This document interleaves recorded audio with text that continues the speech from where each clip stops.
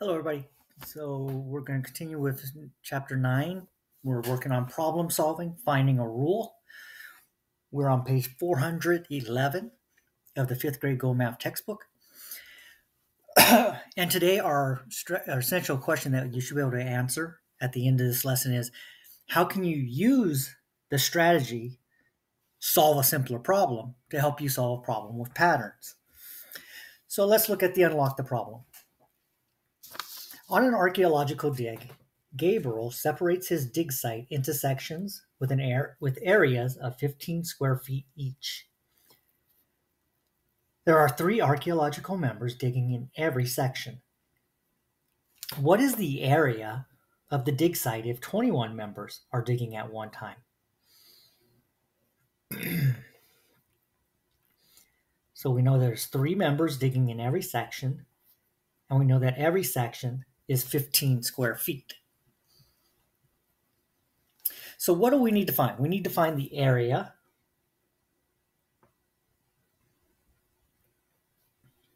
of Gabriel's archaeological dig site.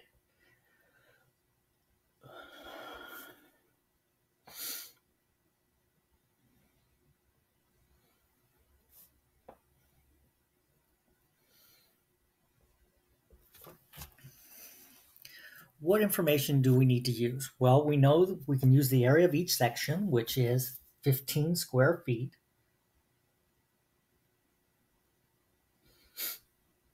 And that there are three members in each section, and that there are 21 members digging. Okay, so how are we going to use this information in the word problems today? We're going to use the information to search for patterns to solve a simpler problem.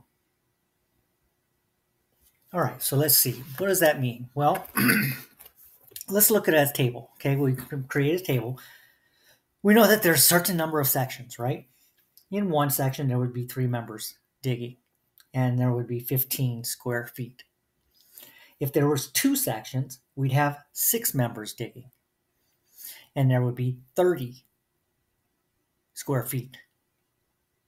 If we had three sections, there would be nine members digging, and there would be 45 square feet, so on. So for every section, we're going to add three members. And for every section, we're going to add 15 square feet. So 90 plus 15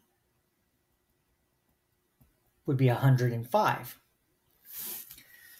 So here we would multiply the number of sections by 3 right? Seven sections times three gives us 21 people.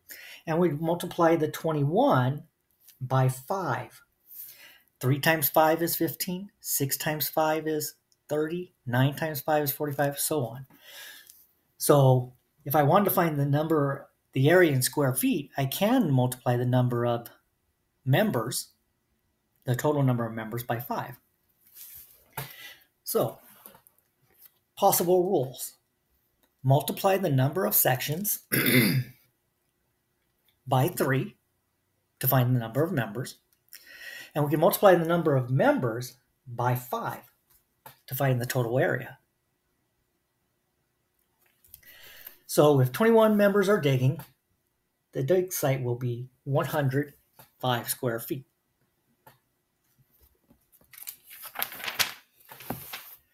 All right, number two or try another problem on page 412.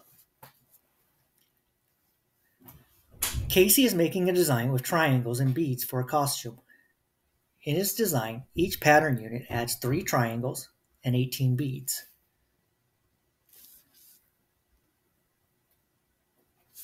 Casey uses 72 triangles in his design. How many beads does Casey use? So use the graphic organizer below to solve the problem. All right, what do we need to find? This is the question, right? How many beads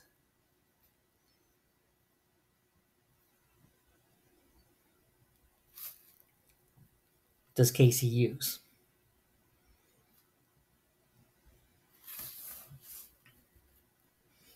What information do we need to know? Well, we know that he uses three triangles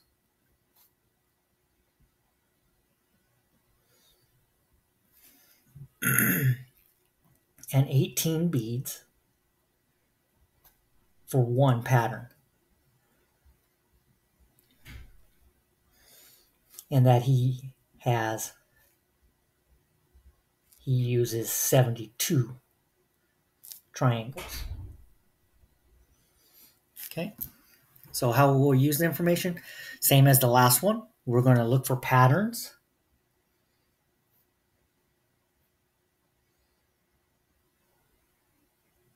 And solve a simpler problem.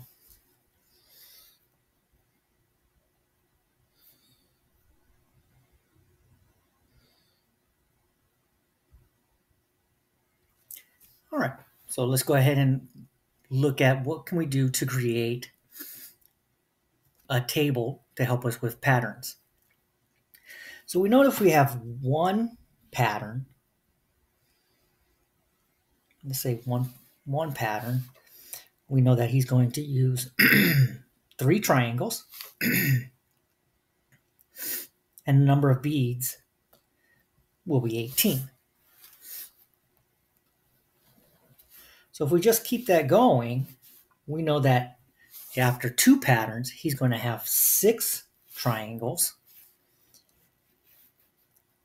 And he'll use 36 beads. Three patterns would be nine triangles. Three triangles per pattern. Three times three is nine. And every pattern adds an additional 18 beads. So we start to notice a pattern here. So we can multiply patterns by 3. We can multiply the triangles by 6. So the number of beads is 6 times as much as the triangles. So if we just continued out, the number of triangles would be 72 right? And so what's 72 times 6? So we figured out that there's a pattern that when we go from triangles to beads, we can multiply by 6. So 6 times 2 is 12. Regroup as one 10 and two ones. 6 times 7 tens is 42 tens, plus one more 10 is 432. Now, how many patterns would that be? Well, in this case, we could take the 72 and divide by 3. Right? Because it's the number of patterns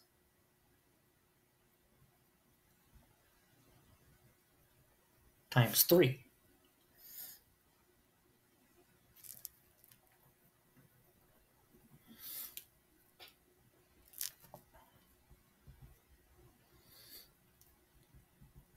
So if we continue this out, there would be 24 patterns, 72 triangles, and 432 beads.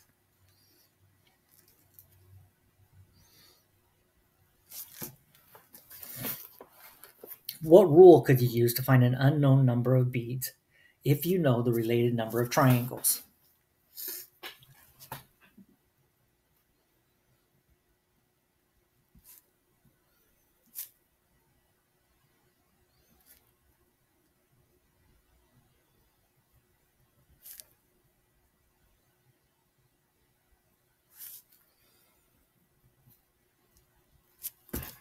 Okay, all you have to do is multiply the number of triangles by 6. All right, so let's apply this to numbers 1 through 6 on pages 413 and 414. So Max builds rail fences. For one style of fence, each section uses three vertical fence posts and six horizontal rails. And so they're showing us a picture of that. So we have three vertical posts, and six horizontal rails. How many rails will he need for a fence that has 27 posts? Okay, so they're showing us two sections, three sections, so on. Okay, so we could create a table. For one section, there's going to be three posts and six rails. And so that has to be for each one. So if I had two sections, I multiply the number of posts by three to get six. And I would multiply the number of rails by six to get um, two times six to get 12 rails. So if I have two sections, I need two times six or 12 rails.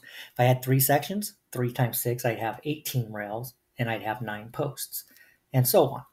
So what's the possible rule for the posts? Well, multiply sections by three.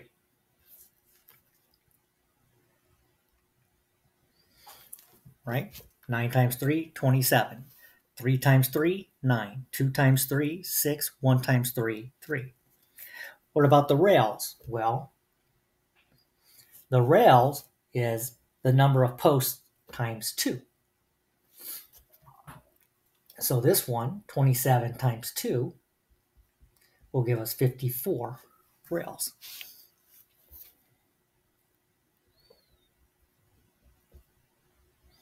So multiply the posts by 2 to get the number of rails. And then use the rule to solve the problem.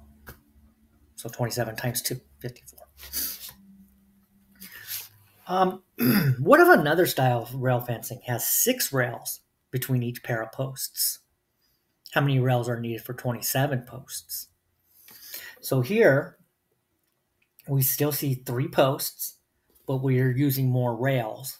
So here we have two, four, six, two, four, six. So in this case, if we multiply the number of sections by three, we'd get the number of posts. But this time, we're going to multiply the number of posts by four. So it's going to be twice as many. So here we're going to multiply the posts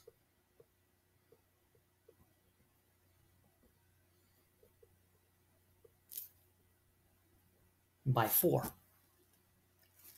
All right, so 9 times 3, 27. 27 times 4,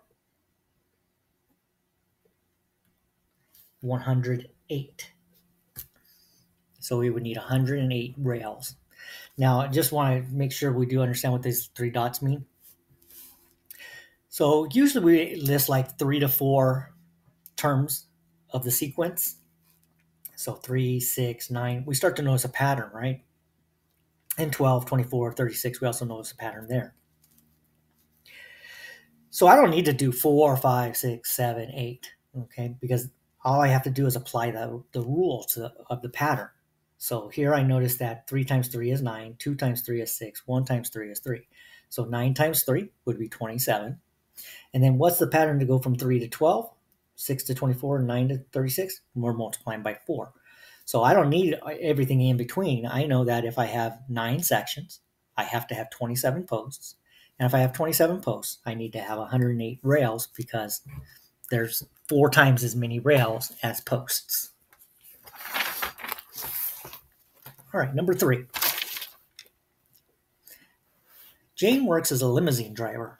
She earns $50 for every two hour shift. How much does she does Jane earn in one week if she works 40 hours per week? Write a rule and complete the table. So what's going on here? So one shift, two hours. Two shifts, four hours. Three shifts, six hours so on, right? So we're multiplying the number of shifts by two. So if she works 20 shifts, that would be 40 hours. Now, what's the pattern for the number of hours worked and pay? 2 times what is 50? 4 times what is 100? Well, 2 times 25 is 50, right? and 4 times 25 would be 100. So this is multiplying by 25. So 40 times 25 would be 1,000. So multiply hours worked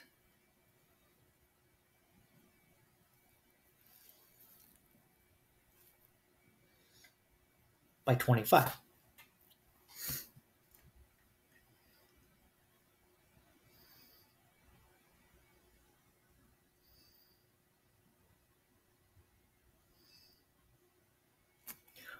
Or multiply number of shifts by 50. All right, number four. Rosa plays games at a fair. She can buy eight games for a dollar. Each game costs two tokens. How many games can she play with 120 tokens? So every game costs two tokens.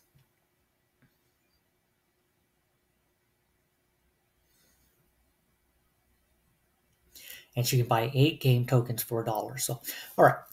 So for every dollar, she gets eight tokens. So if we take that out, one times eight is eight, and then the number of games she can play is half as many because it takes two tokens for every game. So it's not a one to one relationship. Okay. So she can't play, play eight games for the eight tokens. She can only play half as many. So if we know the number of tokens, we can divide by two.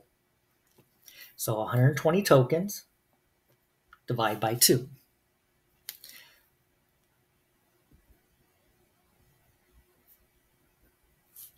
So you can play 60 games. So divide number of tokens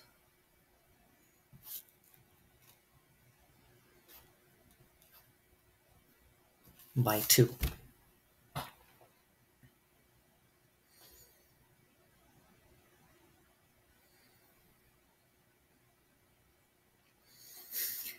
Number five, Janelle is making snacks for her classmates. There are two cups of raisins in one batch. For every two cups of raisins, she adds four cups of oats. How many cups of oats will she need if she has 10 cups of raisin? Well, all right, so one batch would be two cups of raisins, raisins, and I'm going to put oats here. So if I have two batches, I'm going to need four cups of raisins and eight cups of oats. Isn't that just multiplied by two? If I have number of cups of raisin, I have to multiply it by two to get the number of oats. So if I have 10 cups,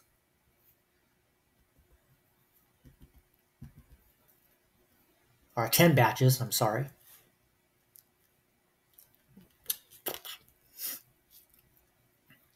two, four, six, eight.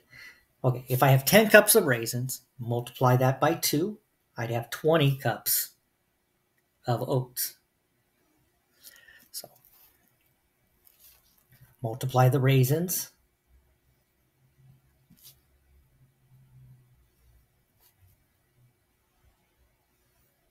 by 2.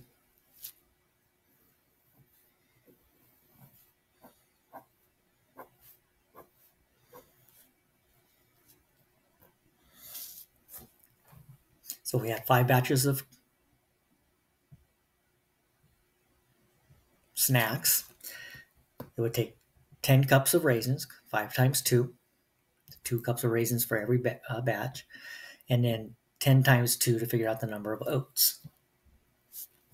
All right, and number six, find a pattern. Uh, well, we have two squares here, then we have six, then we have 10. I'm going to assume this is 14. 1, 2, 3, 4, 5, 6, 7, 8, 9, 10, 11, 12, 13, 14. 14 squares. So what's happening? 2 to 6 plus 4. 6 to 10 plus 4. 10 to 14 plus 4. So what's the rule? add 4.